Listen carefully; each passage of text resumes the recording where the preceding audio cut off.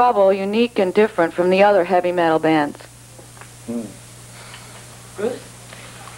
Um, I, I don't think we're really putting on a show. We play what we feel, and Eric writes lyrics of what he feels in true circumstances. Do you model yourself after any other bands? Well, there's bands that are influences, but we don't model ourselves after anybody. Like try and be like anybody, you know. Hey, Rick, I understand you were responsible for getting Trouble together. How did this come about? Well, probably about the same as everyone else starts bands. And it's just an idea with a couple friends, and you just build from there. Look for the right people to work with, and once you get everyone together and it starts working out, then you start getting more serious about it. Well, how did you develop the name Trouble? oh, that's a hard one. That's hard. It just popped up one day out of nowhere. So we got tired of saying we didn't have a name, so We built the the name around it after we had the name. Right. We we made the theory of the band after that came in to proportion after we were into it more and found more about what our life, you know, and our goals are set to do and it's got a lot to do with the way the world is today. Sean, you're the latest member of the band. How is it uh, working with this group and performing with them? Oh, it's cool. I like this this band a lot. It's a lot better than well, I've been in other bands. It's always been one extreme that I like, not everything put together. You know, and this band has got the it, there's tasteful music, you know, and it's and it's heavy and some of them are fast like I like to play. It's just all around the kind of music I like. Good. Um, does this group have any ideas or goals they want to convey? I guess just to spread the word, like tr- that there is trouble in the world and be successful. Uh, Any new songs in the works? Yeah, well, it, Always new songs in the works. always Always. working on new stuff.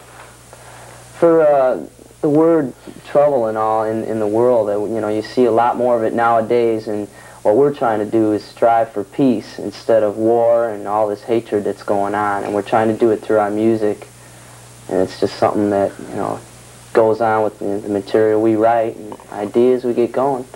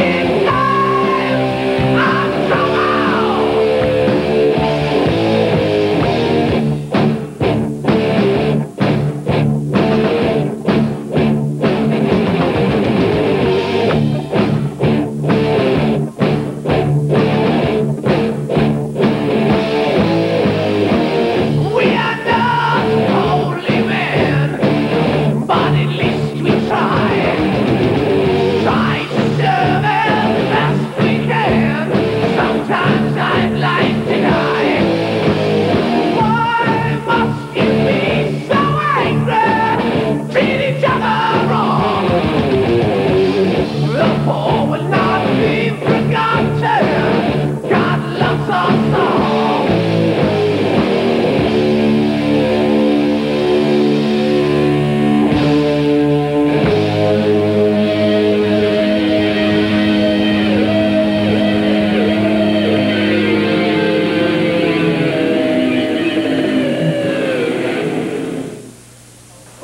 Disco and punk still in demand, what does the future hold for heavy metal bands like yourself? Well, I think metal, metal's always been there, and uh, especially this last year, it's really come up a lot. So I don't think we should have that much problem. It's just if we're good enough. Bruce, in reading over some of the information about your group, I came across the word gunk. Referred in your. Could you please, in layman's term, tell us what gunk is? Well, it's a word that we made up. It's more or less the sound effect of our gu- guitar sound when it's crunching. You gunk, gunk. There is a lot of that. what do you think your best number is? Uh, I'd have to say the Skull. It's a song that isn't on our album, but it's, it's a song we just wrote recently and one that the whole band wrote together. It'll be coming out later. Anybody else have any other ones they think are best? Everybody pretty much agrees on that one. I like that one a lot. Okay, Jeff, the rhythm man here. Tell us about yourself. Hi there. uh, well, I started originally in music when I was real young and started playing trumpet and then piano before school band and then grew up through band and all of a sudden I developed more of a love for drums than trumpet or piano or anything and from there I just uh, got my first snare drum through H&A green stamps and my parents gave it to me. From there I built up a drum set kept playing trumpet because the band director wouldn't let me quit, and just from there, So what do you have that other drummers don't have? well, it's hard to say. Got a lot of support from my parents. I'm not saying that all drummers don't have support, but I think that's got to be the best thing. I got a good roadie. I got good, a lot of help, which helps a lot during you know frustrating times when you're trying to get stuff moved and trying to get things going. It's you know your job's to play the drums and get a lot more support. It helps. So where do you guys practice and how often? Practice in Chicago, and usually around four nights a week. Where exactly? I'm not going to say that. yeah, there's too many weirdos in this town. Well, how do you mix everyday living and working with your practicing and your performing? Well, that's been a part of, like, my life since for a long time. Always practice, always works in. Like, Yeah, I think we've all always done it. We're just used to it now. you don't really have to make time. There's always time for the things that are fun. Yeah. Always. Well, on a more philosophical note, on a more philosophical note, if you had to sum up trouble in one word, how would you do it? Uh, I'd say that we're real.